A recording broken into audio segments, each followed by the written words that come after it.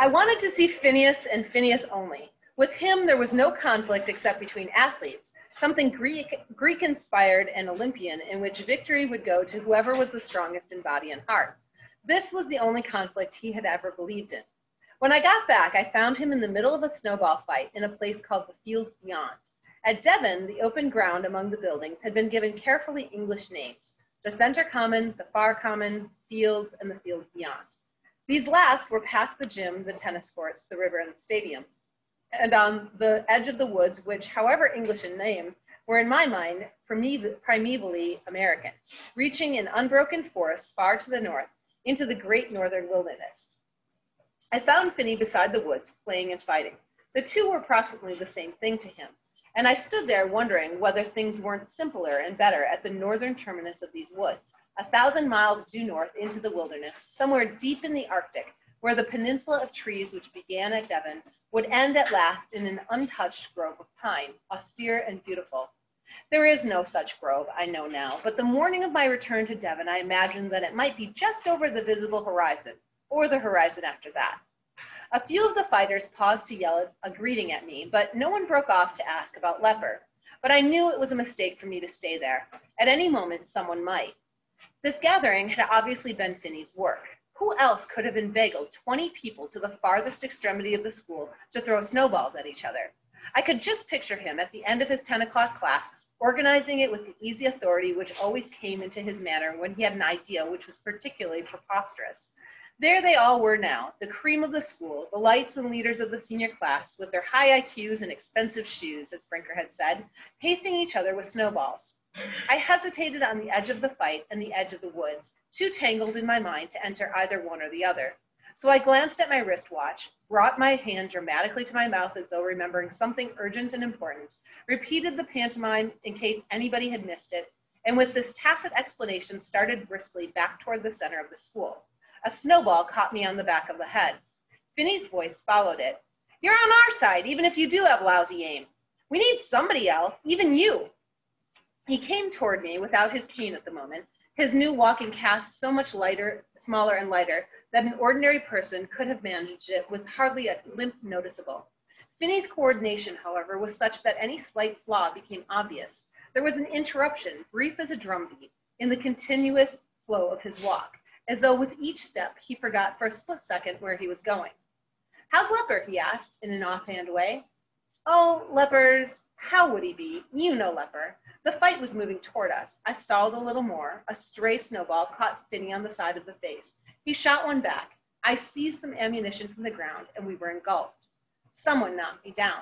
I pushed Brinker over a small slope. Someone was trying to tackle me from behind. Everywhere there was the smell of vitality in clothes, the, vital, the vital something in wool and flannel and corduroy which spring releases. I had forgotten that this existed, this smell, which instead of the first robin or the first bud of, or leaf, means to me that spring has come. I had always welcomed vitality and energy and warmth radiating from thick and sturdy winter clothes. It made me happy, but I kept wondering about next spring, about whether khaki or suntans or whatever the uniform of the season was had this aura of promise in it. I felt fairly sure it didn't. The fight veered.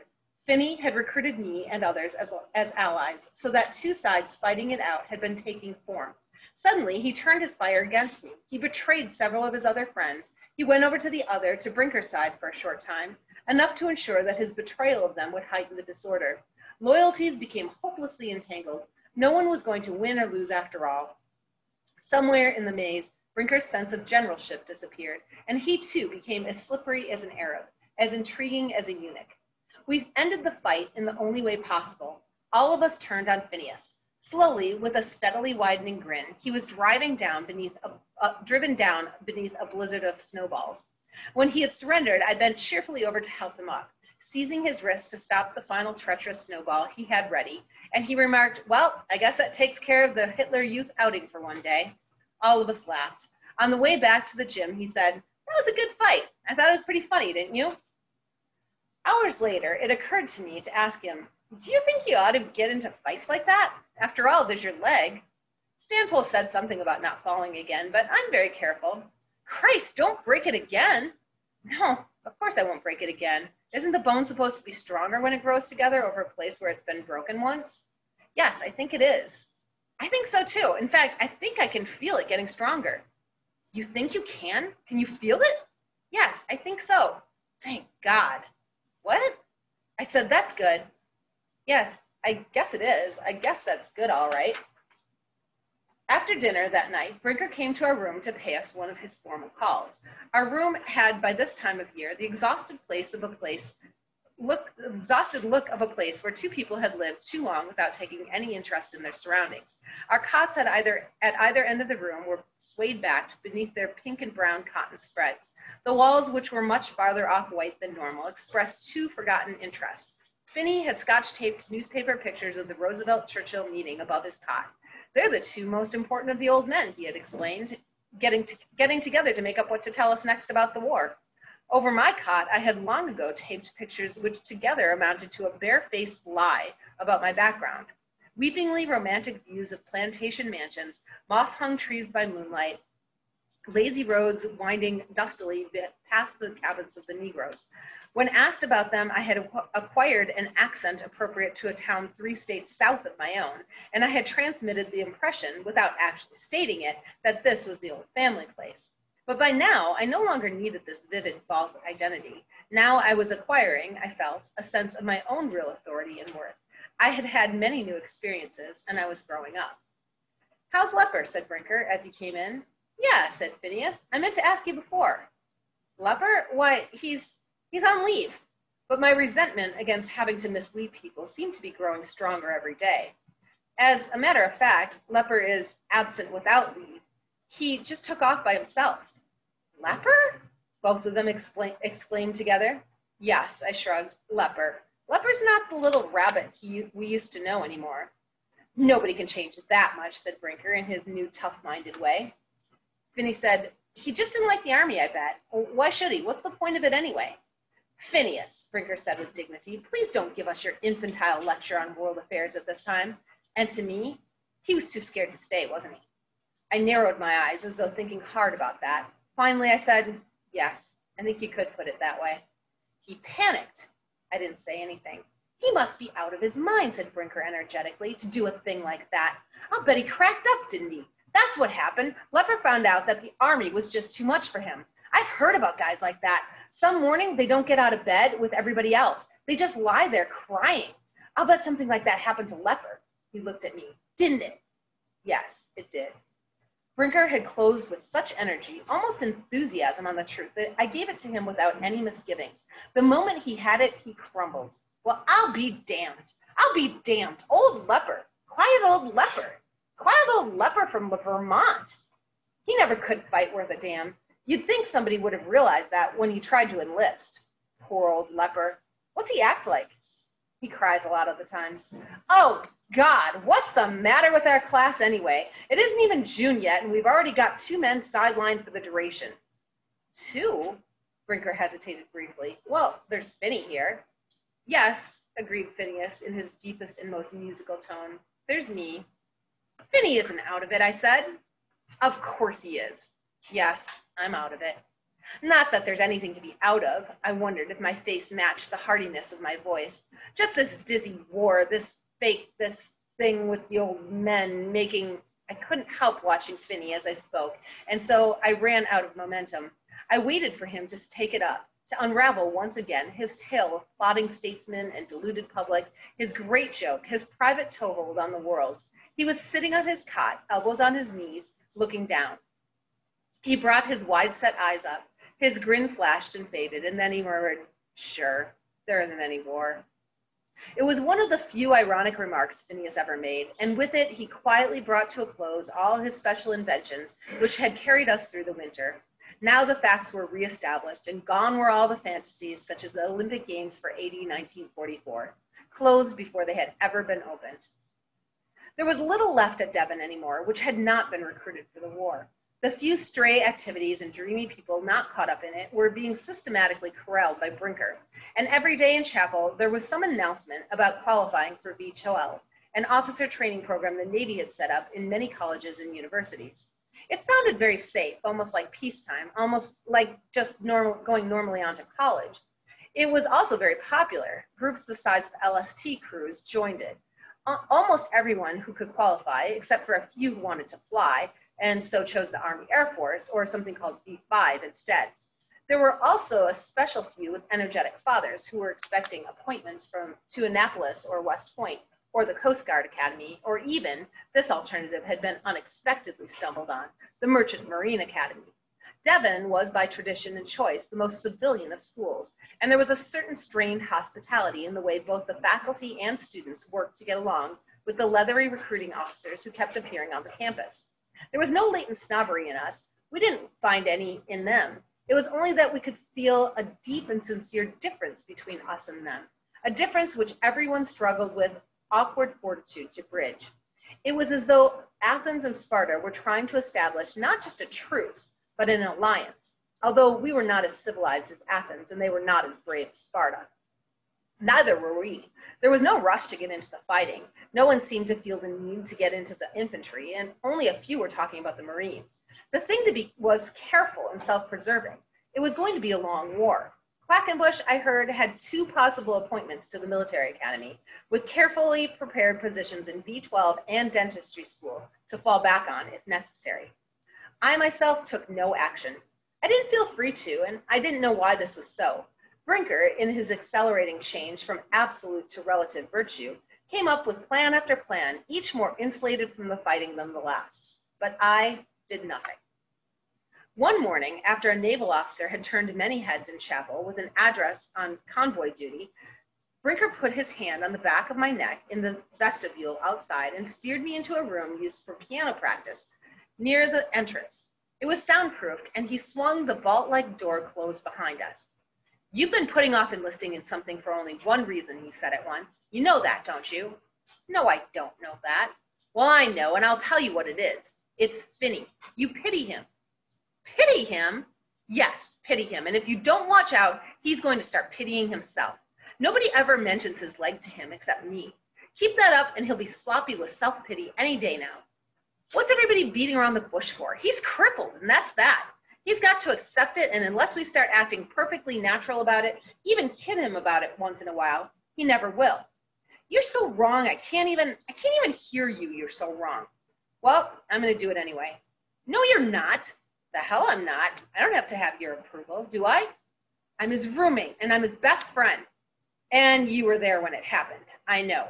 And I don't give a damn. And don't forget, he looked at me sharply, You've got a little personal stake in this. What I mean is, it wouldn't do you any harm, you know, if everything about Finny's accident was cleared up and forgotten. I felt my face grimacing in the way Finny's did when he was really irritated. What do you mean by that? I don't know. He shrugged and chuckled in his best manner. Nobody knows. Then the charm disappeared and he added, unless you know. And his mouth closed in its straight, expressionless line, and that was all that was said. I had no idea what Brinker might say or do. Before, he had always known and done whatever occurred to him because he was certain that whatever occurred to him was right. In the world of the Golden Fleece Debating Society and the underprivileged local children's subcommittee of the Good Samaritan Confraternity, this had created no problems. But I was afraid of that simple executive directness now. I walked back from chapel and found Finny in our dormitory, blocking the staircase until the others who wanted to go up saying, A mighty fortress is our God, under his direction. No one who was tone deaf ever loved music so much. I think his shortcoming increased his appreciation. He loved it all indiscriminately. Beethoven, the latest love ditty, jazz, hymn, it was all profoundly musical to Phineas. Our helper, he amid the floods, wafted out across the common in the tempo of a football march, of mortals, Ill, mortal ills prevailing. Everything was all right, said Finny at the end. Phrasing, rhythm, all that. But I'm not sure about your pitch. Half a tone off, I would estimate offhand. We went on to our room. I sat down at the translation of Caesar I was doing for him, since he had to pass Latin at last this year or fail to graduate. I thought I was doing a pretty good job of it. Is anything exciting happening now? This part is pretty interesting, I said, if I understand it right. About a surprise attack? Read me that. Well, let's see. It begins when Caesar noticed that the enemy was remaining for several days at the camp fortified by a swamp and by the nature of the terrain, he sent a letter to, to Trebonius instructing him, instructing him isn't actually in the text, but it's understood. You know about that. Sure, go on. instructing him to come as quickly as possible by long forced marches to him. This him refers to Caesar, of course. Finny looked at me with glazed interest and said, Of course. Instructing him to come as quickly as possible by long forced marches to him with three legions. He, he himself, Caesar that is, sent cavalry to withstand any sudden attacks of the enemy. Now, when the Gauls learned what was going on, they scattered a selected band of foot soldiers in ambushes who, overtaking our horsemen after the leader Vertiscus had been killed, followed our disorderly men up to our camp. I have a feeling that's what Mr. Horn is going to call a muddy translation. What's it mean? Caesar isn't doing so well. But he won it in the end. Sure, if you mean the whole campaign, I broke off. He won it if you really think there was a Gallic War. Caesar, from the first, had been the one historical figure Phineas refused absolutely to believe in. Lost 2,000 years in the past, master of a dead language and a dead empire, the bane and bore of schoolboys, Caesar he believed to be more of a tyrant at Devon than he had ever been in Rome. Phineas felt a personal and sincere grudge against Caesar, and he was outraged most by his conviction that Caesar and Rome and Latin had never been alive at all. If you really think there ever was a Caesar, I said. Phineas got up from the cot, picking up his cane as an afterthought. He looked oddly at me, his face set to burst out laughing, I thought. Naturally, I don't believe books and I don't believe teachers. He came across a few paces. But I do believe it's important, after all, for me to believe you. Christ, I've got to believe you at least. I know you better than anybody. I waited without saying anything. And you told me about Leper, that he's gone crazy. That's the word. We might as well admit it. Leper's gone crazy. When I heard that about Leper, then I knew that the war was real. This war and all the wars. If a war can drive somebody crazy, then it's real, all right. Oh, I guess I always knew, but I didn't have to admit it. He perched his foot, small cast with metal bar across the bottom to walk on, next to where I was sitting on the cot. To tell you the truth, I wasn't too completely sure about you when you told me how Leper was. Of course I believed you, he added hurriedly, but you're the nervous type, you know, and I thought maybe your imagination got a little inflamed up there in Vermont. I thought he might not be quite as mixed up as you made out. Finny's face tried to prepare me for what came next. Then I saw myself. Then I saw him myself. I turned incredulously. You saw Leper?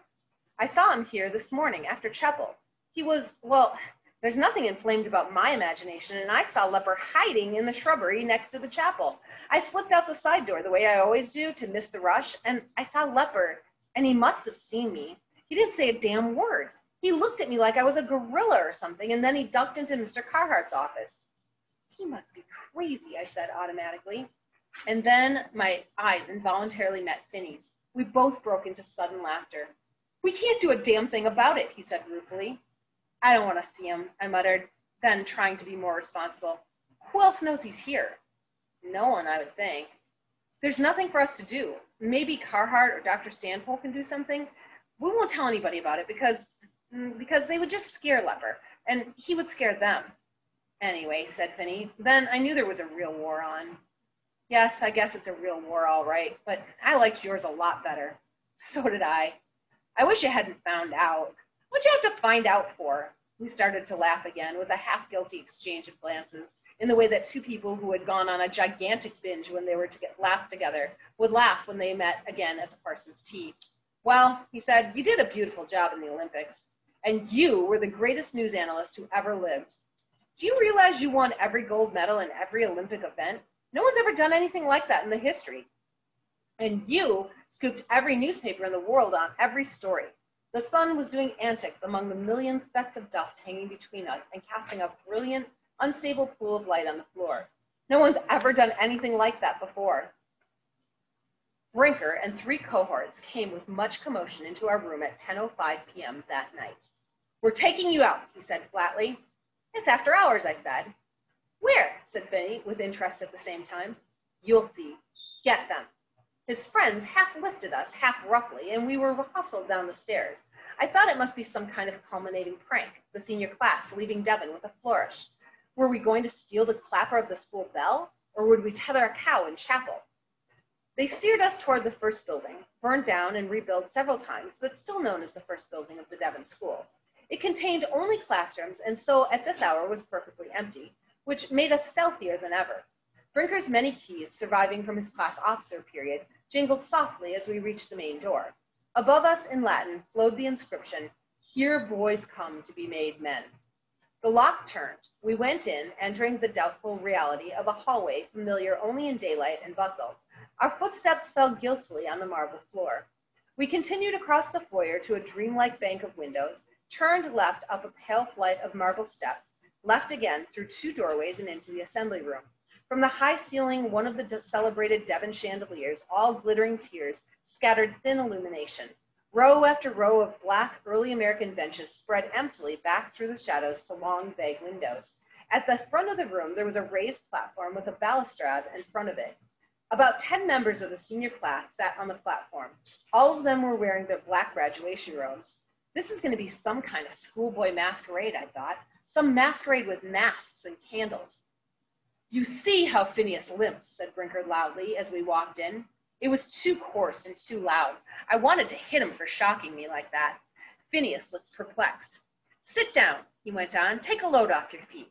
We sat in the front row of the benches where eight or ten others were sitting, smirking uneasily at the students on the platform. Whatever Brinker had in his mind to do, I thought he had chosen a terrible place for it. There was nothing funny about the assembly room. I could remember staring torpidly through these windows a hundred times out of the elms of the center common. The windows now had the closed blankness of night, a deadened look about them, a look of being blind or deaf. The great expanses of wall space were opaque with canvas, portraits in oil of deceased headmasters, a founder or two, forgotten leaders of the faculty, a beloved athletic coach none of us had ever heard of, a lady we could not identify, her fortune had largely rebuilt the school, a nameless poet who was thought, when under the school's protection, to be destined primarily for future generations. A young hero, now anonymous, who looked theatrical in the First World War uniform in which he had died. I thought any prank was bound to fall flat here. The assembly hall was used for large lectures, debates, plays, and concerts. It had the worst acoustics in the school. I couldn't make out what Brinker was saying, he stood on the polished marble floor in front of us, but facing the platform, talking to the boys behind the balustrade. I heard him say the word inquiry to them and something about the country demands. What's what is all this hot air? I said into the blur. I don't know, Phineas answered shortly. As he turned toward Brinker, Brinker, as he turned toward us, Brinker was saying, Blame on the responsible party. We will begin with a brief prayer. He paused, surveying us with the kind of wide eyed surmise Mr. Carhart always used at this point, and then added to, in Mr. Carhart's urbane murmur, Let us pray. We all slumped immediately and unthinkingly into the awkward crouch in which God was addressed at Devon, leaning forward with elbows on knees. Brinker had caught us, and in a moment it was too late to escape, for he had moved swiftly into the Lord's Prayer. If, when Brinker had said, Let us pray, I had said, Go to hell, everything might have been saved. At the end, there was an indecisive, semi serious silence, and then Brinker said, Phineas, if you please. Finny got up with a shrug and walked to, the center of the floor between us and the platform. Brinker got an armchair from behind the balustrade and seated Finny on it with courtly politeness. Now, just in your own words, he said. What own words? said Phineas, grimacing up at him with his best you are an idiot expression. I know you haven't got many of your own, said Brinker with a charitable smile. Use some of Gene's then. What shall I talk about? You? I got plenty of my own words for that. I'm all right. Brinker glanced gravely around the room for confirmation. You're the casualty. Brinker, began Finny in a constricted voice I did not recognize. Are you off your head or what? No, said Brinker evenly. That's Leper, our other casualty. Tonight we're investigating you. What the hell are you talking about? I cut in suddenly investigating Finny's accident. He spoke as though this was the most natural and self evident and inevitable thing we could be doing. I felt the blood flooding into my head. After all, Brinker continued, there is a war on. Here's one soldier our side has already lost. We've got to find we've got to find out what's happened. Just for the record, said someone from the platform, you agree, don't you, Gene? I told Brinker this morning, I began in a voice treacherously shaking, that I thought this was the worst and I said, Brinker's voice was full of authority and perfectly under control, that for Finny's good and with an additional timber of sincerity, and for your own good too, by the way, Gene, that we should get all this out into the open. We don't want any mysteries or any stray rumors and suspicions left in the air at the end of the year, do we? A collective assent to this rumbled through the blurring atmosphere of the assembly room. What are you talking about? Finny's voice was full of contemptuous music. What rumors and suspicions? Never mind about that, said Brinker with his face responsibly grave. He's enjoying this, I thought bitterly. He's imagining himself justice incarnate, balancing the scales. He's forgotten that justice incarnate is not only balancing the scales, but also blindfolded. Why don't you just tell us in your, your words what happened, Brinker continued. Just humor us, if you want to think of it that way. We aren't trying to make you feel bad. Just tell us. You know, we wouldn't ask you if we didn't have a good reason, good reasons. There's nothing to tell. Nothing to tell? Brinker looked pointedly at the small cast around Finny's lower leg and the cane he held between his knees. Well, then, I fell out of a tree. Why? said someone on the platform. The acoustics were so bad and the light so dim that I could rarely tell who was speaking, except for Finny and Brinker, who were isolated on the wide strip of marble floor between us in the seats and the others on the platform. Why? repeated Phineas. Because I took a wrong step. Did you lose your balance? continued the voice. Yes, echoed Finny grimly. I lost my balance. You had better balance than anyone in the school. Thanks a lot. I didn't say it for a compliment. Well, then, no thanks. Have you ever thought that you didn't just fall out of the tree? This touched an interesting point Phineas had been turning over in his mind for a long time. I could tell that because the obstinate competitive look left his face as his mind became engaged for the first time. It's very funny, he said, but ever since then, I've had a feeling that the tree did it by itself. It's an impression I've had, almost as though the tree shook me out by itself. The acoustics in the assembly room were so poor that silences there had a heavy hum of their own. Someone else was in the tree, isn't that so? No, said Finny spontaneously. I don't think so. He looked at the ceiling. Or was there? Maybe there was somebody climbing up the rungs of the trunk. I kind of forget. This time, the hum of silence was prolonged to a point where I would be forced to fill it with some kind of sound if it didn't end. Then someone else on the platform spoke up. I thought somebody told me that Gene Forrester was, Finny was there. Brinker interrupted commandingly. He knows better than anyone. You were there too, weren't you, Gene? This new voice from the platform continued. Yes, I said with interest. Yes, I was there too. Were you near the tree? Finny turned toward me. You were down at the bottom, weren't you? he asked, not in the official courtroom tone he had used before, but in a friend's voice. I had been studying very carefully the way my hands wrinkled when tightly clenched, but I was able to bring my head up and return his inquiring look. Down at the bottom, yes, Finny went on. Did you see the tree shake or anything? He flushed faintly at what seemed to him the absurdity of his own question. I've always meant to ask you, just for the hell of it. I took this under consideration. I don't recall anything like that. Nutty question, he muttered. I thought you were in the tree, the platform, platform voice cut in. Well, of course, Finny said with an exasperated chuckle. Of course I was in the tree. Oh, you mean Gene? He wasn't in. Uh, is that what you mean? Or Finny floundered with muddled honesty between me and my questioner. I meant Gene, the voice said. Of course Finny was in the tree, I said, but I couldn't make the confusion last. And I was down at the bottom, or climbing the rungs, I think. How do you expect him to remember? said Finny sharply. There was a hell of a lot of confusion right then.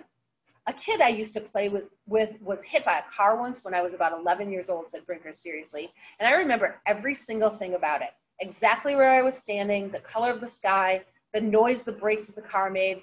I never will forget anything about it. You and I are two different people, I said. No one's accusing you of anything, Brinker responded in an odd tone. Well, of course, no one's accusing me. Don't argue so much. His voice tried for a hard compromise a full of warning and yet striving to pass unnoticed by the others. No, we're not accusing you, a boy on the platform said evenly, and then I stood accused. I think I remember now, Finny broke in, his eyes bright and relieved. Yes, I remember seeing you standing on the bank. You were looking up and your hair was plastered down over your forehead so that you had that dumb look you always have when you've been in the water. What was it you said? Stop posing up there or one of those best pale cracks you're always making? He was very happy. And I think I did start to pose just to make you matter. And I said, what did I say? Something about the two of us? Yes. I said, let's make a double jump because I thought if we went together, it would be something that had never been done before, holding hands in a jump. Then it was as though someone suddenly slapped Slapped him. No, that was on the ground when I said that to you. I said that to you on the ground, and then the two of us started to climb. He broke off. The two of you, the boy on the platform went on harshly for him, started to climb up the tree together. Was that it? And he's just said he was on the ground. Or on the rungs, I burst out. I said I might have been on the rungs. Who else was there? said Brinker quietly. Leper Lepellier was there, wasn't he? Yes, someone said. Leper was there.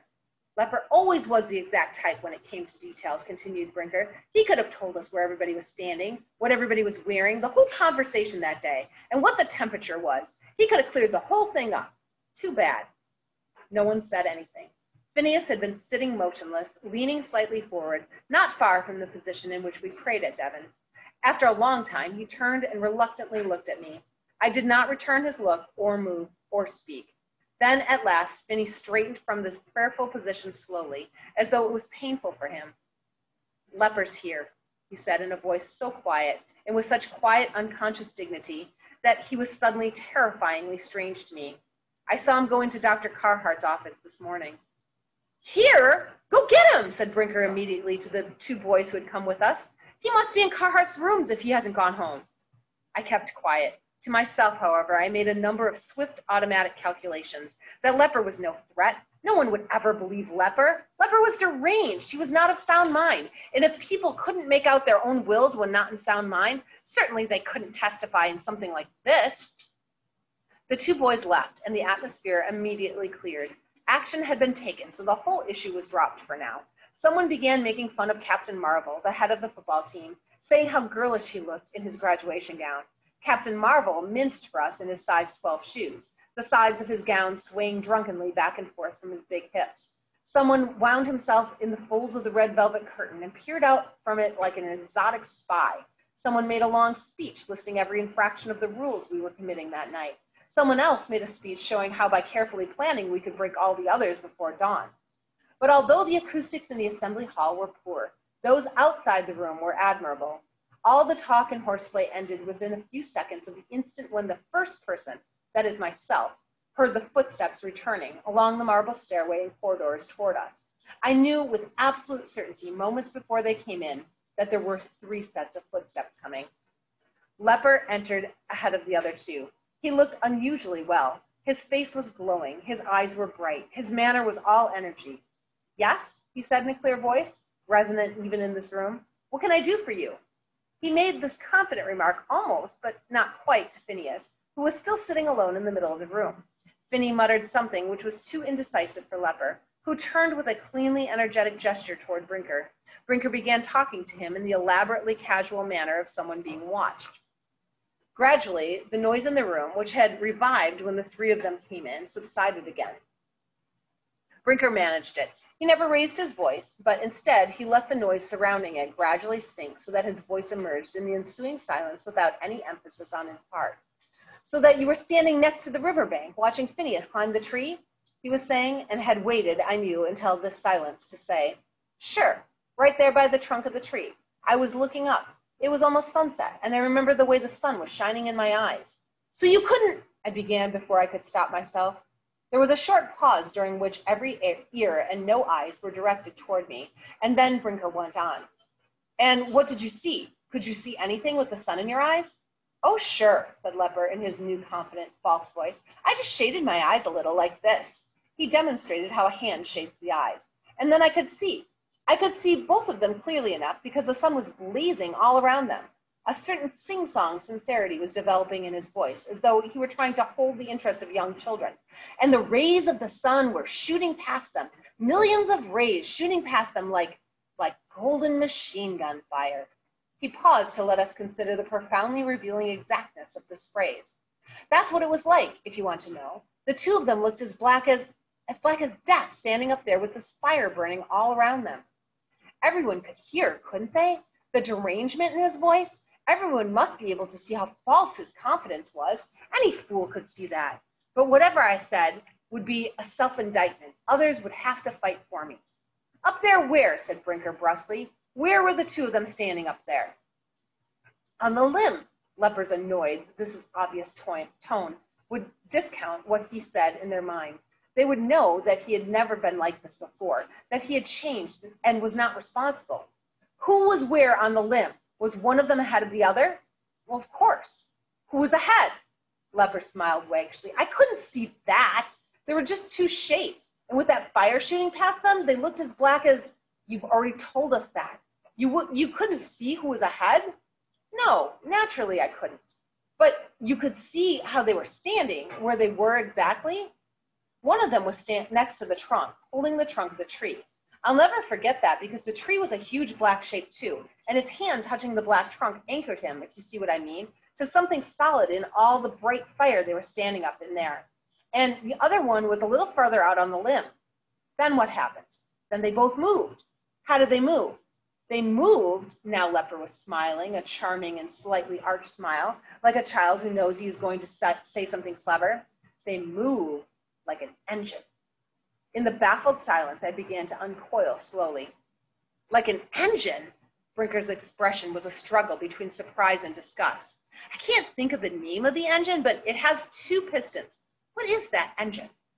Well, anyway, in this engine, first one piston sinks, and then the next one sinks. The one holding onto the trunk sank for a second, up and down like a piston, and then the other one sank and fell.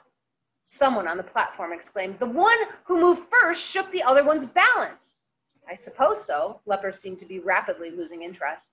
Was the one who fell, Brinker said slowly, was Phineas, in other words, the one who moved first or second?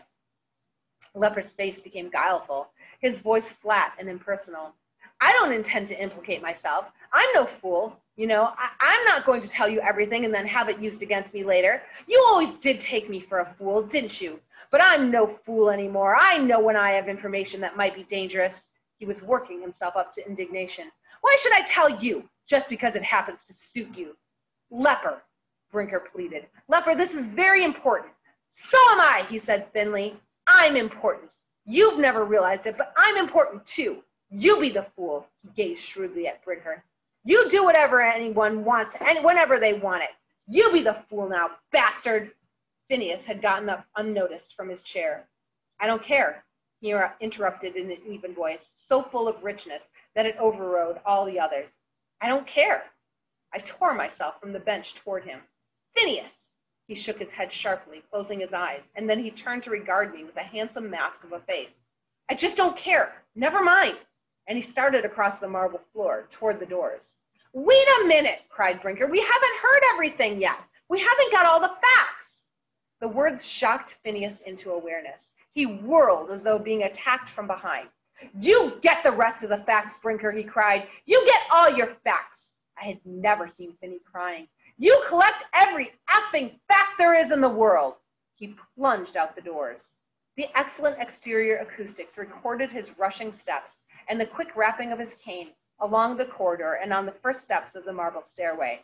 Then these separate sounds collided into the general tumult of his body falling clumsily down the white marble stairs.